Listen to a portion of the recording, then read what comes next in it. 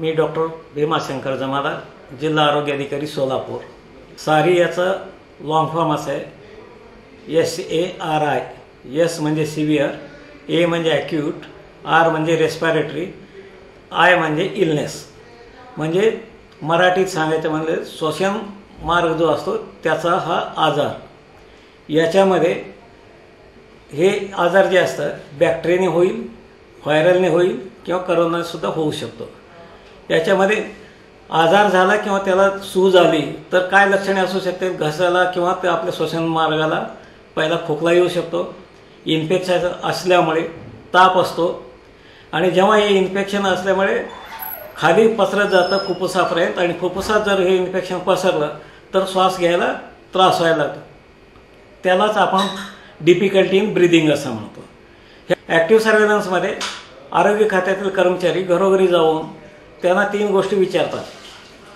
ताप आहे का? खोकला आहे का? किंवा दोन्ही आहे का?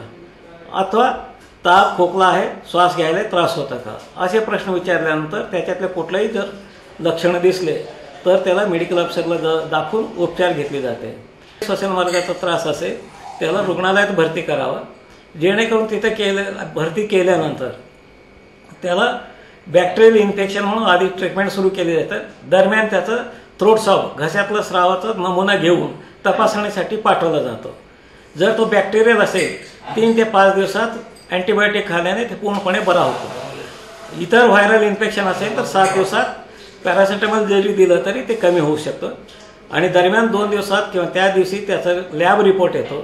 जर तो करोना पॉझिटिव्ह असेल तर त्याला एकशे आठने तात्काळ मोठ्या हॉस्पिटलला पाठवायचं आणि तिथल्या भागातील खाजगी किंवा सरकारी कुठलेही डॉक्टर असेल तर त्याचं आम्ही आवाहन करतो की त्यांच्याकडे खोकला ताप किंवा श्वास घ्यायचा त्रास असेल अशा रुग्णाला तात्काळ आपण सरकारी रुग्णालयाकडे पाठवावं किंवा कोविड केअर सेंटरकडे पाठवावं.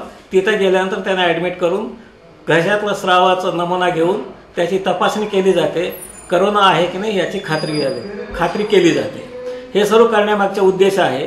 श्वसन मार्गाचं इन्फेक्शन किंवा त्याचं सूज इतर बॅक्टेरिया किंवा व्हायरल असेल किंवा करोना असेल जर हे लक्षणं दोन्हीमध्ये सारखेच आहे. या लक्षणाच्या सर्व पेशंटला आपण जर सर्वेलन्समध्ये आणलं आणि त्यांचं खात्री केलं आणि उपचार केलं तर कुठलेही करोनाचे रुग्ण सुटणार नाही. त्यासाठी आपण घरोघर जाऊन हे सारीचे तीन लक्षणं असलेले जे कोणी पेशंट असेल त्यांना शोधणं आणि त्यांना उपचार करणं हा त्यासाठी महत्त्वाचा आहे. त्यासाठी आपण सारी सर्वेलन्स करतो. हे दोन्ही पद्धतीने आपण करतो. ॲक्टिव्ह आणि स पॅशिव्ह सर्वेलन्स यामुळे उद्देश आहे की एकही करोनाचा रुग्ण सुटू नये.